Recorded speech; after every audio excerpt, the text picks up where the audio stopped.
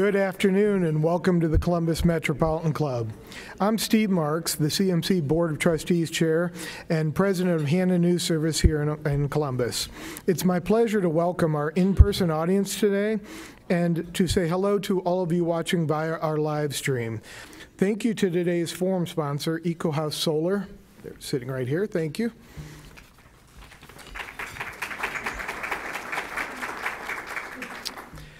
Today's CMC live streaming is presented by the Emergency Response Fund of the Columbus Foundation in partnership with the Columbus Dispatch and PNC. Thank you all.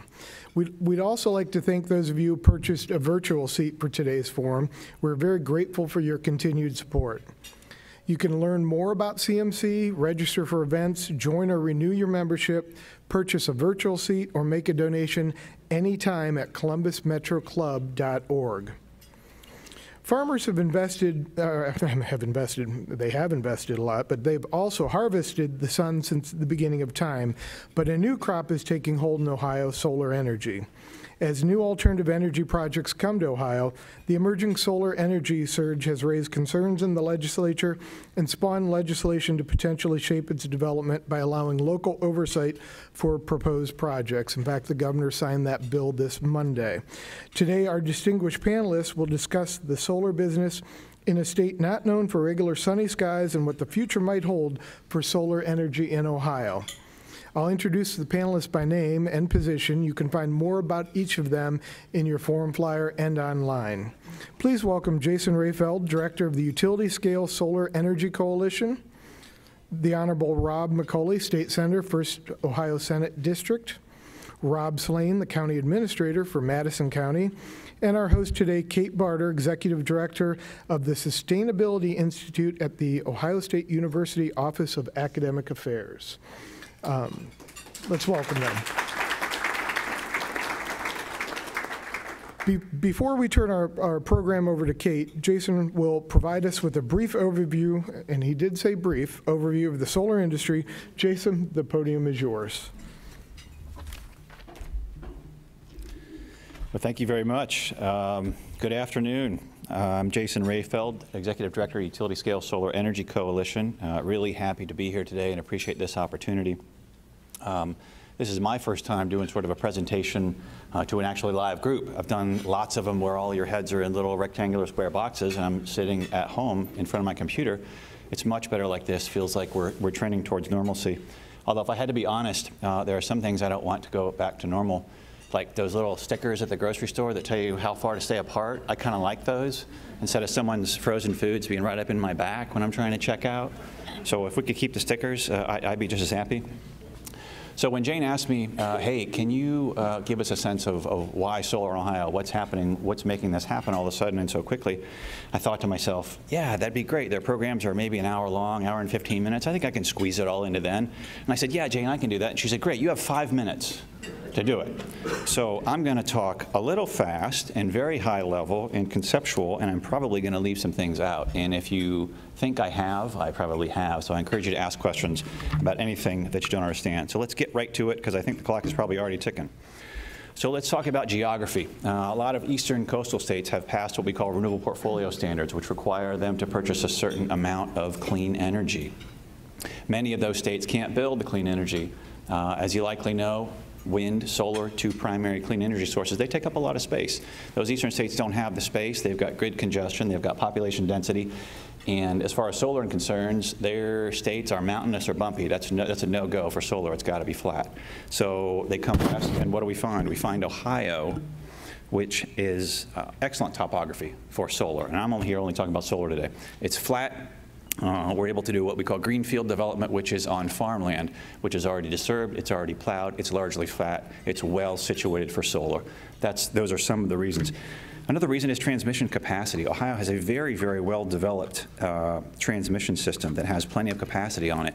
In part, it's got capacity uh, because low price of gas has pushed some coal plants uh, just out of the money, and so they've shut down, opening up a lot of capacity for other types of generation, like solar, to come online. Uh, just as an additional point, a, a, an important uh, component of that transmission in regards to generation like solar is it's got to be close. Uh, if it's too far away, it's very, very expensive to build an extension uh, of a transmission line. It makes the whole project not financially, vi- not financially viable. Another reason, panels have become much more efficient. So places like Ohio, which aren't sunny year-round like Utah or Nevada or New Mexico or, or some parts of California, uh, solar works now. Uh, they're much, much more efficient. They've also become much, much cheaper. In fact, according to the National Renewable Energy Laboratory, the cost of silicone solar cells has fallen from $76 per watt in 1977, which I think maybe the only customer then was probably NASA, uh, to 2020, it's about 20 cents per watt. So that's a massive reduction in cost, allowing this technology to become much more widely available. But what about our weather, you say? And that would be an excellent question because we have some pretty brutal winters that are pretty gray. But I would tell you that the panels, the efficiency uh, is good enough to where it still makes the electrons that we need to run these lights during those gray days.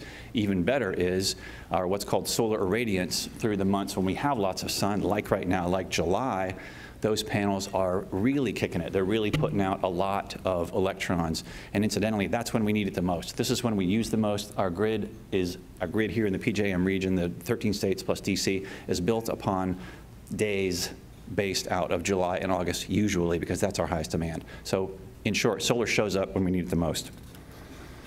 Um, and maybe most importantly, uh, oh, I forgot. Um, these panels are manufactured here in Ohio. We've got the only U.S.-based panel manufacturer right here in Ohio, and I'd be remiss if I didn't mention them. It's First Solar out of Perrysburg, so they're doing a great job building a lot of panels for a lot of these projects going in.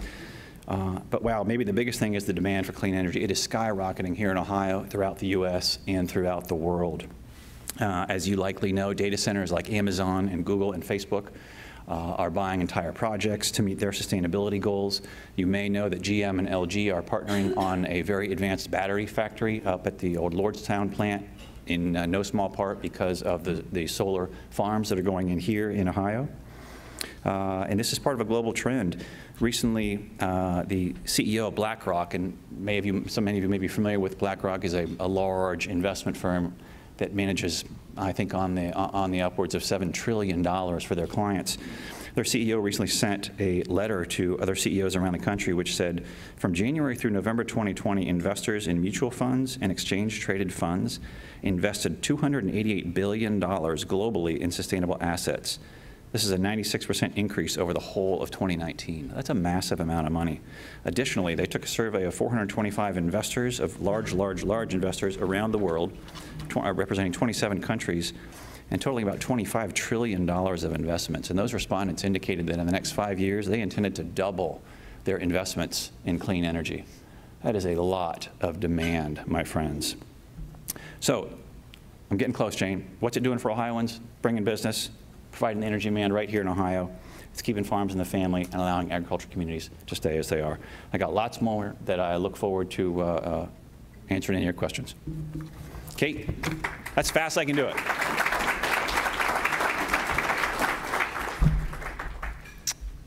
Good afternoon, everyone. Thanks, Jason, for that helpful background. I want to start today by thanking the CMC for inviting me to moderate this session today. I will say that I love to talk about energy. Uh, this is a fascinating and timely and very complicated topic. I'm really fortunate to work for uh, Ohio State, where we have many researchers working on all kinds of issues related to meeting the increasing global needs for more energy in more sustainable ways. We're trying to teach the next generation of leaders about this topic, and certainly the future of solar is one of those critically important topics. Um, I have tried to, to keep up with what's happening in our great state with solar energy for many years. I've been I've been sort of in this space for probably at least 30 years, probably more than I should admit. But I've never seen the amount of utility scale projects for solar proposed, being proposed in Ohio that's been going on the past couple of years and maybe in many ways the, the past year. Uh, just to kind of level set what we mean by utility scale solar, we're talking about 50 megawatts or more of, of, of energy being provided. So we're really not talking about putting solar panels on individual homes or businesses, although frankly there are some really exciting projects in Ohio uh, going on uh, that might be a, a good forum for another Metropolitan Club talk. I just happened to, to see some pictures this week about JP Morgan Chase's big solar installation up at their Polaris Corporate Center. Very impressive project, going to provide a lot of, elec- meeting a lot of their electricity needs. But that's not really the topic of today's forum, and, uh, you know, I just thought I would raise that, having just looked, looked at that project.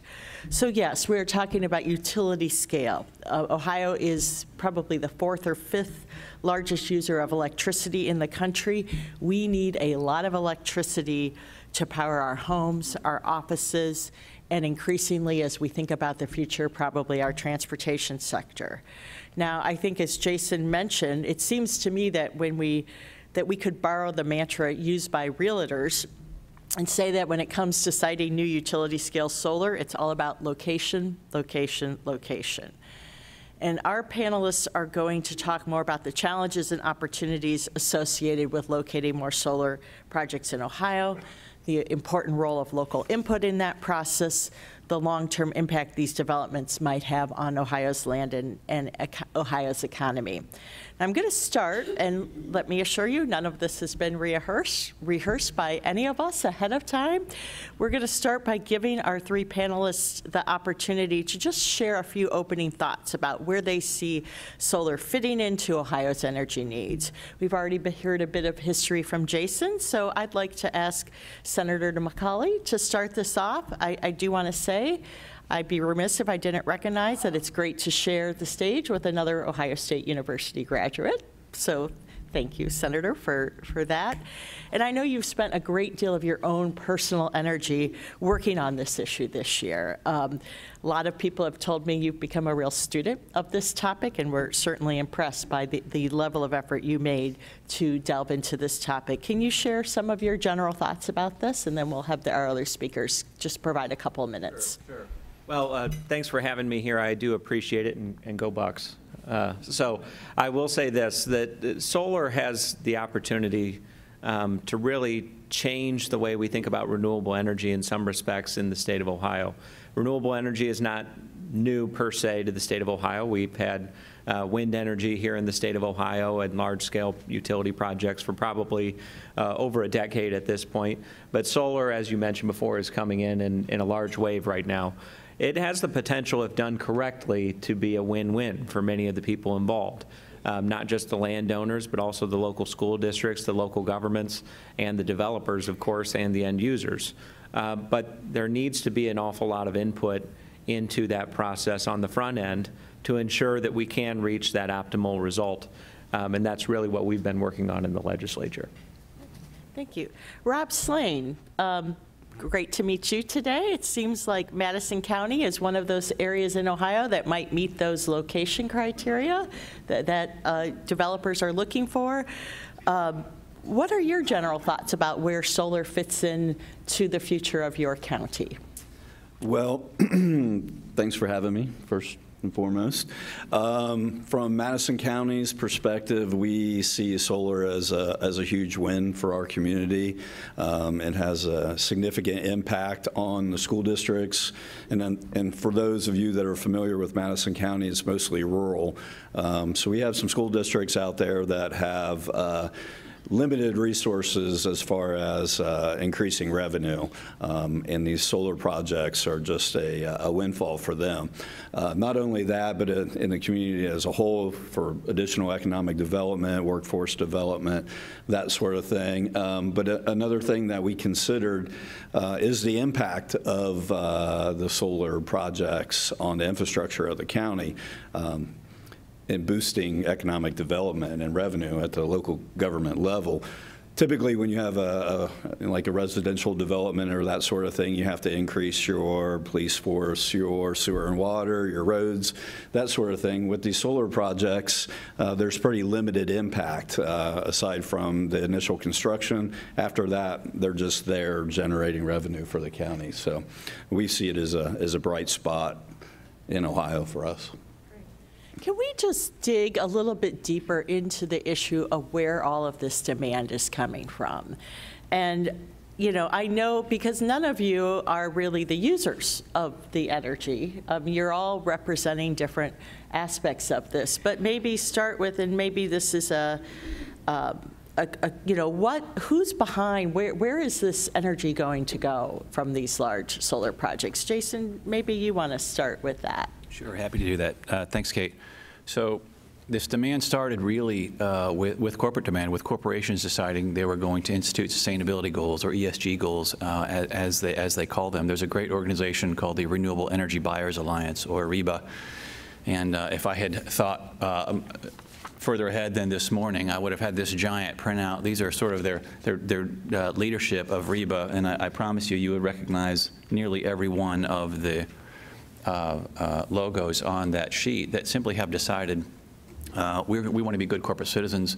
Uh, It's important, it's important to us uh, that we manage our impact on the environment and do as much as we can for climate change, clean air, what have you.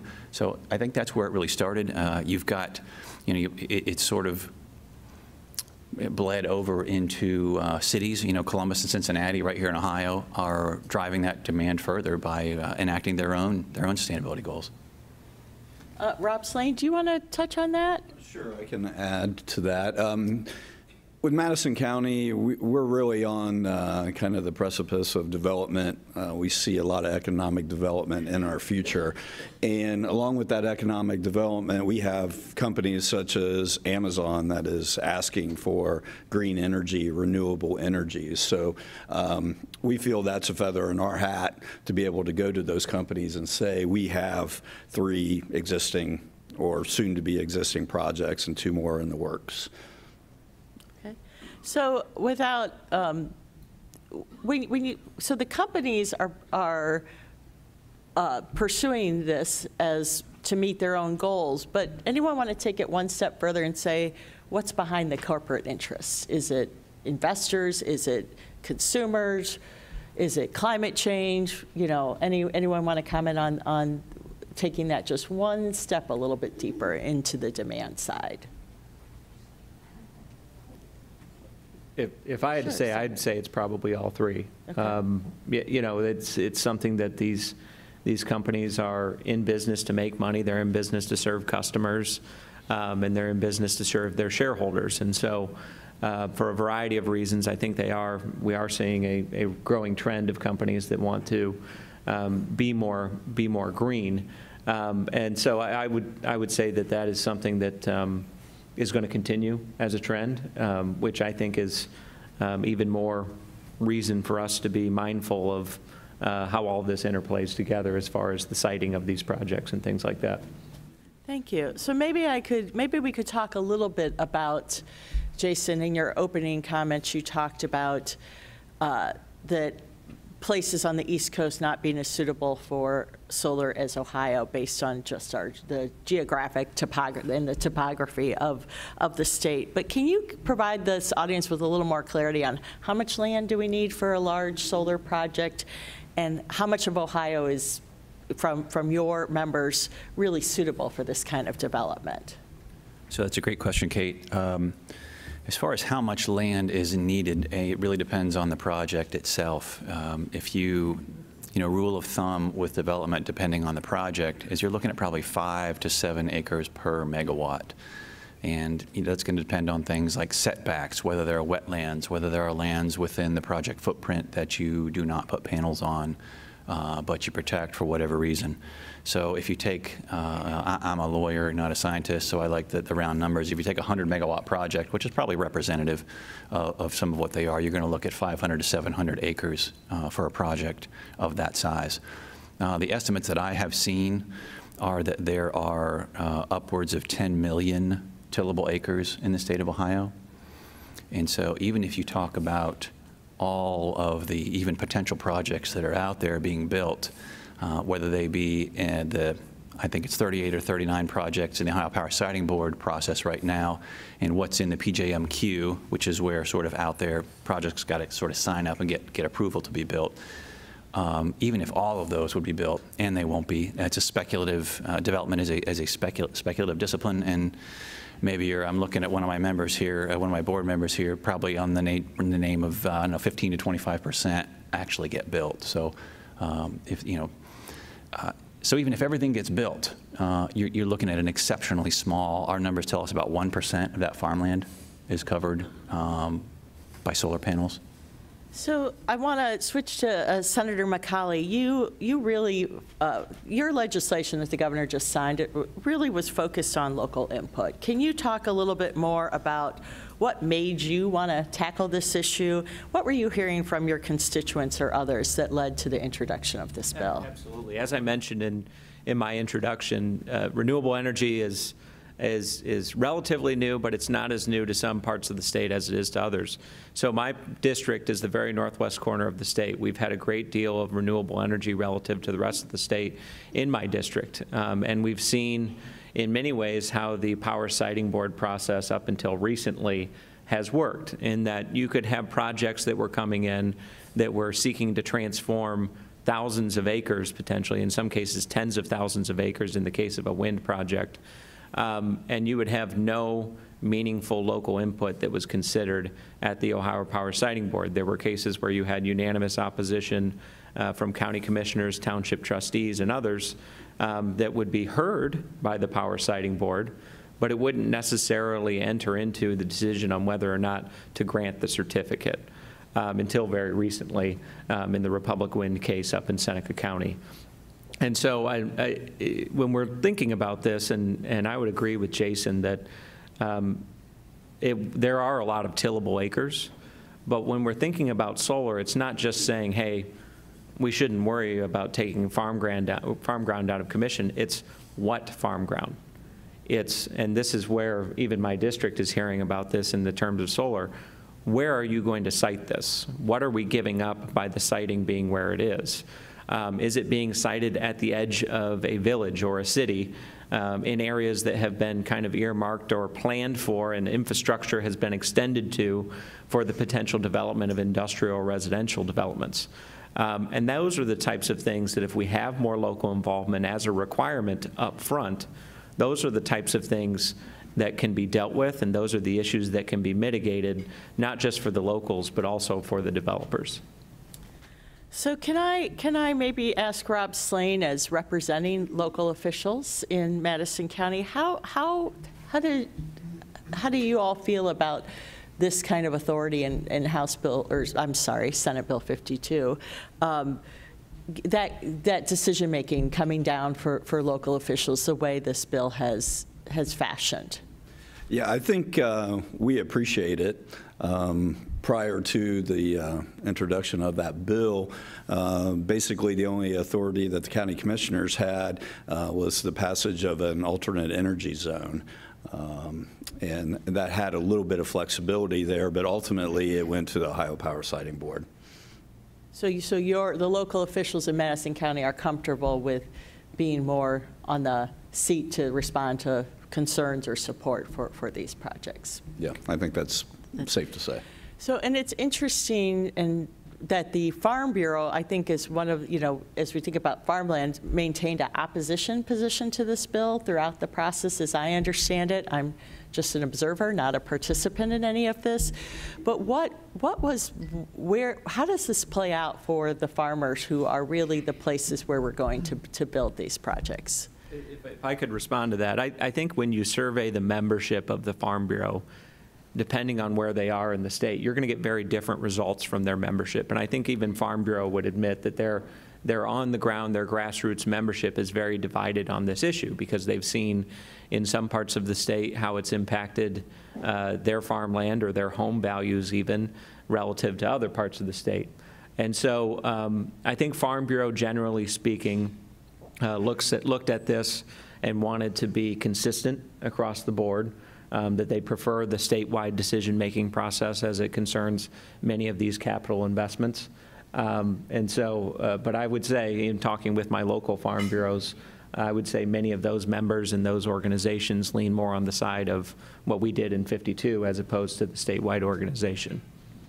And if I could just briefly add to that, at the local level, what we've seen is um, uh, a lot of people have concerns about taking uh, valuable farm ground out of production.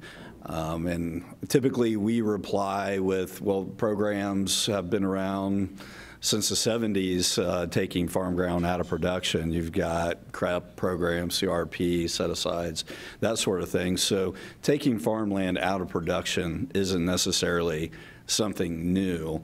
And in addition to that, we feel that um, the, the solar, the utility scale solar projects uh, will not require the maintenance uh, that farm ground typically does. And I'm referring to herbicides and pesticides and uh, that sort of thing, uh, soil erosion.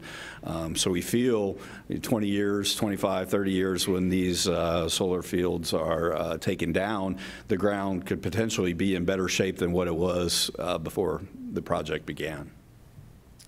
Jason, you want to comment on that? I I would like to, actually. To the, to the concern uh, about the impact of sort of taking agricultural land out of traditional agricultural use, uh, I would suggest that this is another agricultural use, uh, although not traditional. But to that end, uh, for the second time, uh, my group has commissioned a study uh, between Ohio University and the Ohio State University to look precisely at that. It's just gotten off the ground here in this last month, uh, where they're starting to put some scientific instruments in the field at some of these locations to see, is there an impact? What's the impact going to be? Now, there was some sort of sensational stuff initially about, oh, we're going to have food shortages, food shortages, and we're not going to have food shortages. Uh, You know, our, our- U.S. government pays some farmers not to farm. There's not going to be any food shortages. But we are interested in, what's that mean? What's that mean for the community when you change from corn or beans to uh, a solar array? So we, we are looking into that. I don't have results right now. If I had to guess, maybe November, we see that. Um, I'd also suggest that, that, uh, you know, I agree with, with, with a lot of what uh, uh, uh, our panelists here have said. Uh, Many of these farm families, however, that, that are supportive, look at this as a way to say, well, I can, I can really bust my butt um, and hope that the commodity prices stay there for $150, $200 an acre for, for corn or beans. Uh, and then a solar developer comes along and says, hey, we'll give you five, six, seven times that per year. What do you want to do? Oh, and by the way, you don't have to do anything for that 30 or 40 years except collect a check. So the farmer, who may be 50, 60, 70, starting to think about well, how am I going, what am I going to do with this this farmland that's been in our family for four generations suddenly has a connection that they can do something with. They can they can hand it down uh, to to their to further generations. So finally, I would also say that there's lots of reasons that that farmers oppose. Um, um, using land for solar. It's not just it- it's it's taking fertile ground, but there's many times where locally, um, you know, the only way a farmer can expand is if they get more land, right? And so if that's taken up uh, by solar, they they can't really expand. So that's So I'm going to switch uh, subject or question, the line of question a little bit into sort of this, this role of local government that was created in House, in Senate Bill 52. You know, there, there have been some questions about, we, we are, you know, 10 years ago, we saw this huge upswing in development of eastern Ohio for natural gas development in, in Appalachian counties. Uh, Why are, help, help the audience understand why you see, maybe start with Senator uh, McColley, why the rules of the game for siting energy should be different based on the energy source. Well, I, I would say there's an apples and oranges comparison there. One is power generation um, that has much more flexibility as to where it gets sited. Um, and others is mineral extraction. It's not necessarily power generation, and it's it's only going to be able to extract it in the areas where it's at, those minerals are actually present. And so, while solar and wind may be more suitable in some parts of the state than others, um, those parts of the states offer much more flexibility um, in my opinion, than would the extraction of, of minerals. Um, You also have to look at the idea of necessity and, and what the overall uh, benefit would be. So when we're looking at uh, wind and solar development, even right now, uh, adding to the grid, our grid, PJM, is at about 135% of capacity. That's without any additional generation being added to it. And so adding these solar projects, uh, or even wind projects, or any other projects for that matter, even baseload power, isn't necessarily adding a needed amount of capacity to the PJM. Um, In fact, the PJM, uh, they'll even tell you, they're, they're very uh, satisfied with the condition of their grid and the amount of capacity that they're generating on their grid. And so I do think there is a difference um, that warrants a, a difference in treatment. Um, However, this is the Ohio General Assembly, and I anticipate somebody maybe we will introduce a bill like that. But we wanted to focus in Senate Bill 52 on power generation um, that is transformative in its land use uh, uh, in the form of these renewable energy projects. Jason or Rob, do you have any comment on that topic? I do. I think that um, we're fortunate in this, in this state to have the choice of all of the above. And if you had to ask me what I think our energy strategy should, should be, it would be just that, all the above. All of the ways we're able to produce electrons here in Ohio, I think we should. Now, much of that is market dependent, right? If you're too expensive, uh, that's not really going to work. People aren't going to buy it. Uh, we are a competitive, we're fortunate to be a competitive, deregulated market here in Ohio. Um, I actually believe that, uh, for example, gas and solar, which are the two most likely to be built right now, they're not really competitors. They're, they're more likely complementers uh, in the way that they work. Um, you know, and Senator McColley spoke to uh, PJM and being uh, happy with their grid. Um, you know, there was a point in time where we were happy with all coal, and that's no longer the case. You know, the, the shift in demand is in part because people want a cleaner form of energy. Uh, we tried with the scrubbers and the cleaners, and people moved on, and then there was gas, which is cleaner still, but still has emissions.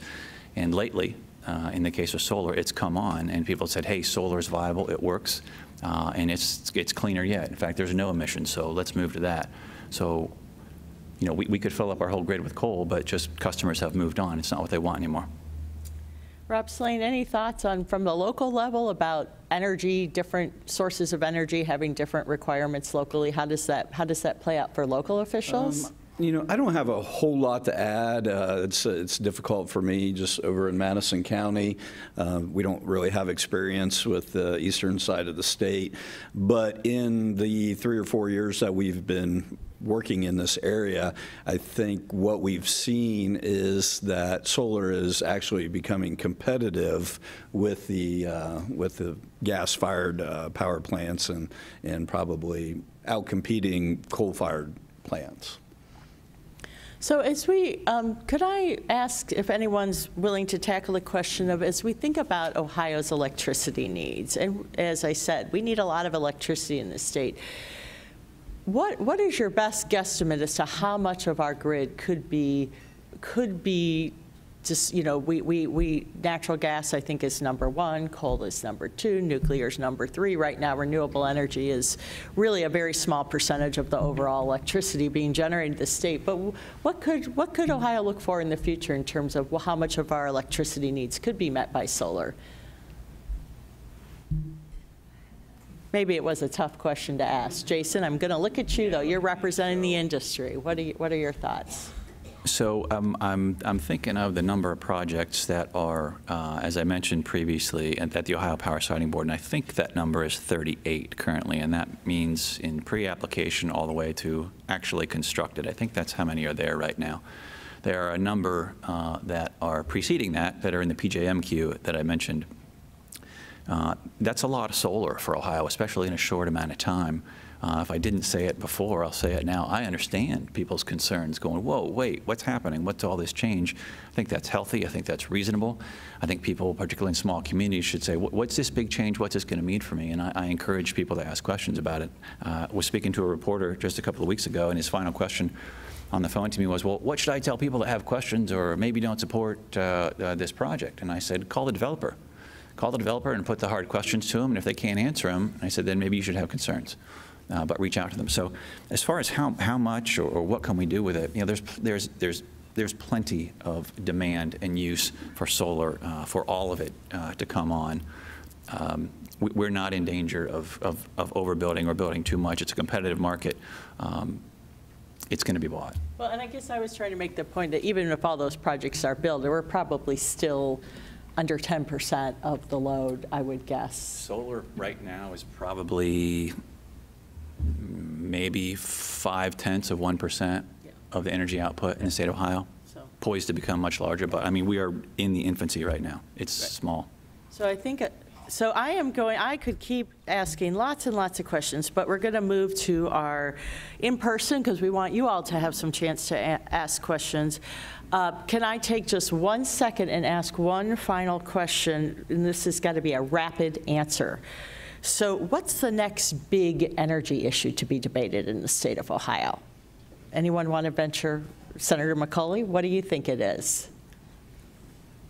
Well, uh, I I would say that the, the uh, landscape at the Ohio General Assembly is constantly transforming, as we've seen, particularly in the energy uh, space. And uh, uh, for those who are wondering, I, I'm glad we're repealing House Bill 6, not that it's related to this discussion, but uh, the energy space has been one that's been uh, constantly changing. And, and so I think it's just a matter of, um, from a policy standpoint, to what extent does the legislature want to get together and, and figure out what should that next step be? Um, And uh, how do, how do we, I think everybody's in favor of freer markets, and so how do we uh, foster something like that would be my broad answer to it. Jason, quick answer from your standpoint? Uh, We got some, uh, we got batteries coming on, and how are we going to figure, how, how do those figure into our grid, and how do those help? I think that's going to be an issue. And Rob, I can ask you, but if you want to take a pass, we, we. Okay. So I know Jane is, uh, Jane Scott's monitoring some, if there, do we have any questions from the live stream that you want to post? Yes, we do. Uh, Some I think you've already addressed, so I'll try to consolidate. And um, please, anybody line up behind me. We'll switch off with questions I have on the, on, on the live stream as well as in, audi- in audience questions. So um, they're complicated questions. Um, Russell Marzette from Ohio State, these discussions focus on panels deployed directly to the land, which is a valuable natural resource. How do building integrated PV options compared to solar farms is the merit in a balanced approach? I don't even know if I understand the question. I think he's looking at building panels on top of big factories and things like that, and not on the land. Yeah, Jane, I can, I can speak to that briefly. Um, So as I mentioned earlier, if you're talking about a utility scale installation, which is what, what my group does, they're typically far too large to be put on top of a building. Uh, It's more expensive to put it on top of a building.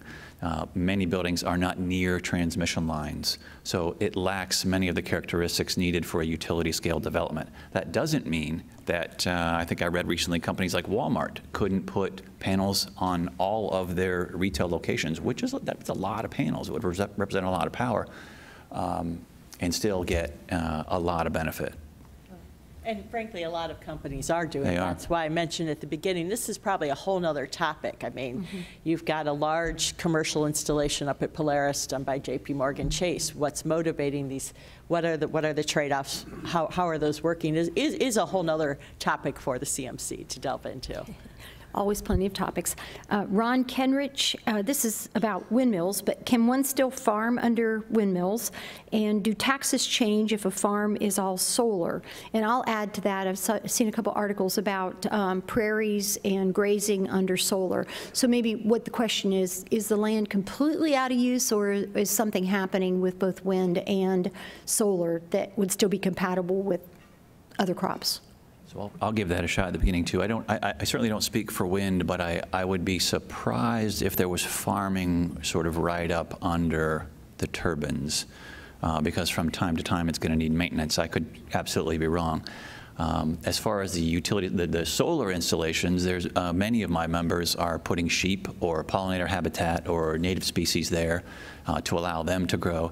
There's no farming underneath it. There's just probably not enough room for the farm equipment. Solar panels, you're talking about probably a maximum height of 14 feet, uh, usually in the 10 to 12 foot range. That's why Senator McColley and, and uh, mentioned earlier, you can you can largely hide them with with a view shed. Uh, you know, native species, plants, uh, good setbacks, and they're very very difficult to see as compared to, to some other things. If if I could, uh, usually with wind turbines, there is a set aside at the base of the turbine that's maybe about an acre, acre and a half, something like that, um, where there is no farming, but you can farm right up to that acre or acre and a half. um, to the point that Jason just made, that's kind of a distinction between the two, um, is that normally you'll see these solar, uh, solar arrays and developments that have fences around them. Um, And so um, it's largely area that's being unused underneath those panels. And I can uh, address the, the the tax question there. Um, And as far as solar is concerned, um, that property does come out of the uh, CAUV for your local taxes. And so you might want to say what the CUV is. Uh, calcu- Calculated agricultural use value. So essentially, uh, you know, a piece of property that may bring $68,000, $100,000 in, in CAUV could then, that could double or triple yeah, uh, for the tax base. Okay, great. Um, Sarah Knutson, you've already answered part of this, but the second part, does the bill being discussed include local oversight of fracking? What about the right of the private landowner to decide best use for their land? So it, as we discussed earlier, it doesn't address fracking. That's uh, an entirely different topic in my mind. But as far as best use is concerned, um, you know, having local control over these large land use decisions is not a foreign concept. Uh, Jason mentioned earlier that many of these projects will be 500 to sometimes even 1,000 acres. To put that into a frame of reference, 640 acres is a square mile. And so uh, many of them are going to be over a square mile, and they're not necessarily all contiguous to each other. And so it's going to be affecting many parcels as far as the neighboring parcels and things of that nature. And so um, I always bring up the example that if you owned uh, 640 acres or square mile at the edge of town and General Motors came to you or Amazon or whoever else and said, hey, we want to build a facility on your land, you wouldn't just be able to hand them over the keys, so to speak, and say, okay, go ahead, start turning shovels. You would need to go through an awful lot of local approval to do that. You would need to go through zoning authority, you'd need to go through the planning commission, you need to go through an awful lot to be able to get to that point. Um, Although this is not that per se, it is still transforming the land use from what it is currently and uh, traditionally been used for into something that it has not been currently and traditionally used for. And therefore, um, it's not uncommon for there to be local involvement over that sort of thing. Chuck Lind asks, do the panelists believe that market demand shifts towards renewable energy will meet the recommendations of climate scientists? That's a tough, big question. I'll, I'll- I'll go first with that one. Um, You know, energy production, climate change, a a hotly debated topic amongst the scientific community, hotly debated amongst the political community. It's hotly debated pretty much everywhere. Uh, But I think universally agreed on is to impact this planet's uh, changing climate is going to take a monumentally massive effort, and changing our generation mix is one piece of that. Um, you know, it, it, this won't do all of it. It's it's so complicated. Uh, so, to that gentleman's question about can it meet the scientist's prediction, I, I'm not sure it can do that. But you know, the solar that we hope to build here in Ohio is is not going to be the panacea to you know to start the climate getting colder again. So Trip Lazarus is asking, how do we use, as a society, how do we as a society strike a good land use balance between solar and farming? And I would add industrial and, um, what do we call it, sprawl, making sure we have enough energy and food. take a shot at that. Um, In Madison County, at the local level, uh, we have a comprehensive land use plan that we review every four or five years, uh, make changes uh, as needed. We've also completed corridor studies, looked at areas of uh, economic development, future economic development, those sort of things. Um, So we will likely um, be adding some sort of land designation to our comp plan uh, to essentially accomplish that goal of a, of a good balance between ag and renewable energies, um, solar in this case. Um, Also, uh, we appreciate the, uh, the bill that was introduced that that allows the uh, county commissioners to have a little bit more control over the situation. And then I think as, as Jason commented, or the senator commented, we don't want to see uh, solar fields right next to the city of London. I mean, that's just something that doesn't make sense. So we appreciate that, uh, that ability to kind of direct uh, things in, in what we feel would be the right direction. You can gather from the commissioner's points is this is the entire reason we need these planning tools in place. Um, This is the entire reason we need to have this required local involvement up front, is because these local elected officials, in many cases, are the ones who are best equipped to, to try and make these decisions, rather than a board that, that's dealing with technical nature and things of that nature, um, and the Power Siting Board down in Columbus, who um, are all appointees, as opposed to elected officials from that local jurisdiction. Yeah, just, just real, real briefly, uh, follow up on that. Uh, agree with everything.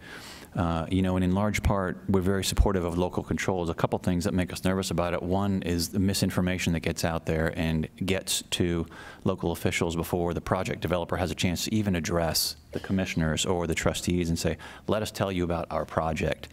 Um, I think that a cooperative effort amongst the developer or developers and local officials and the Ohio Power Siting Board is really the best way to come out with good development. I don't want bad development. My members don't want bad development because it hurts the industry. It makes our jobs much more difficult. Let me, let me add to that real quick.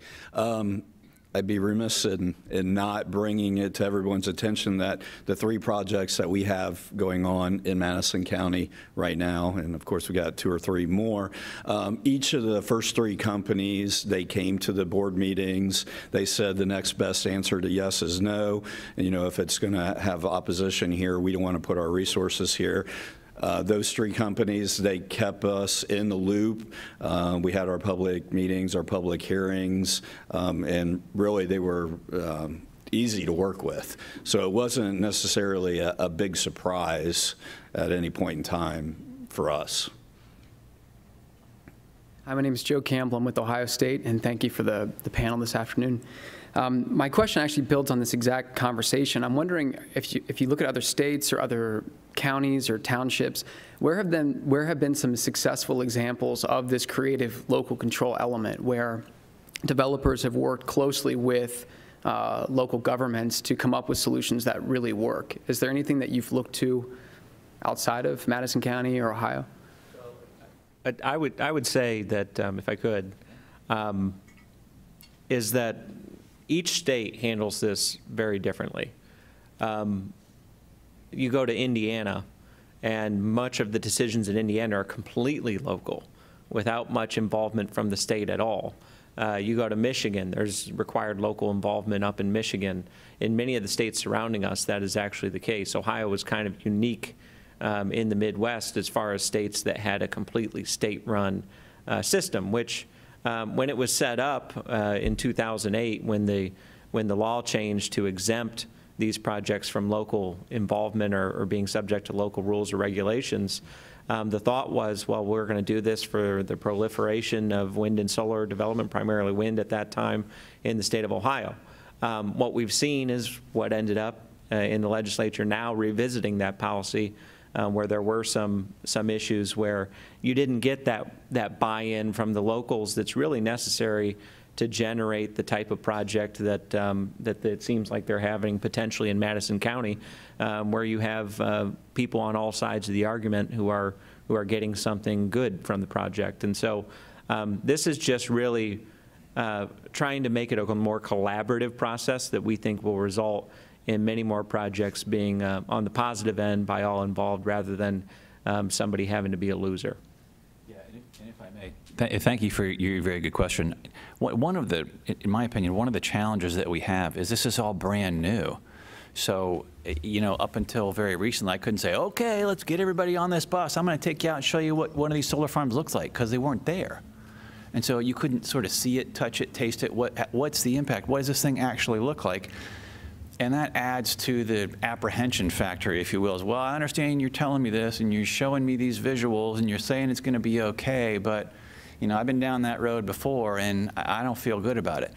one of the things I believe, I hope will happen is as more are built and you can say, hey, come look at this, come look at this, and you see if it's right for your community. You see if this developer did a proper view shed and a proper setback and maintained uh, drain tiles and all the things. I think that's going to be very, very helpful. Uh, One of the reasons why I'm not for bad development or bad community engagement at all, because it really makes it difficult for the good developers, one of those who's, who's sitting right here. I think we have time for just one or two quick more questions, or? Okay, thank you. And again, thanks to the panel. Thanks for Jane for putting this panel on. So my name is Doug Miller. I work with Ohio's Electric Cooperatives. Uh, Full disclosure, I am in the utility industry, so I want to kind of pose a question about um, kind of this national debate on climate change and these net zero carbon goals and things like that. And first of all, Jason, I want to just acknowledge and thank you for kind of acknowledging that this all of the above strategy for Ohio is really important. Um, you mentioned that solar is kind of like a fraction of this. Um, and so Ohio's electric cooperatives, we have, we are largely coal. We have natural gas peaking plants, and we have about 10% of our portfolio is renewable through like landfill gas, solar, things like that. Uh, So appreciate that. The other comment before I ask the question is that you, I think somebody mentioned that electric utility companies kind of like coal. Um, The fact is that the reason why we have coal uh, was there's something called the Fuel Use Act back in the 1970s, uh, where we were not allowed to install natural gas. We were only allowed to install coal. So here we sit today with a lot of stranded investments with coal. And so, you know, we need time to kind of pay down that debt and to kind of make this transition.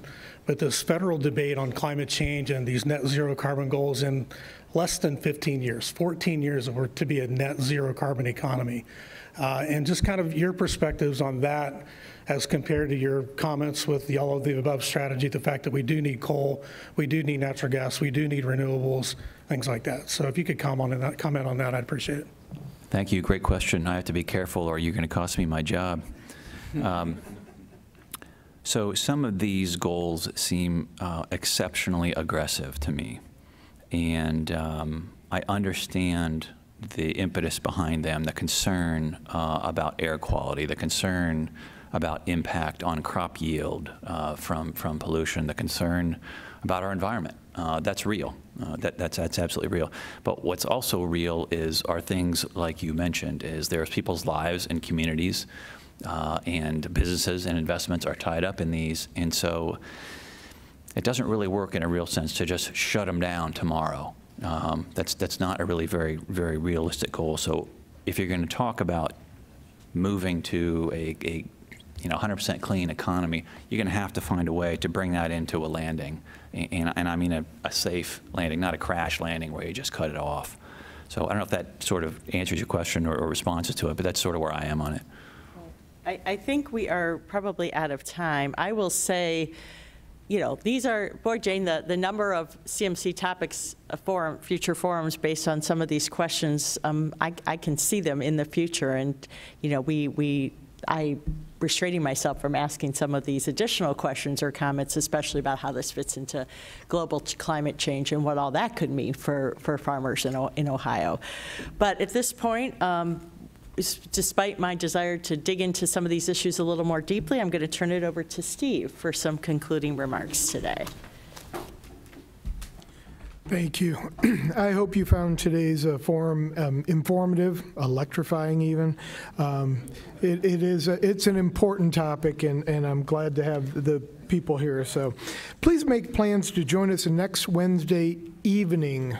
There is no forum next Wednesday during lunch at CMC as we present Rapid Five, the power of parks and waterways.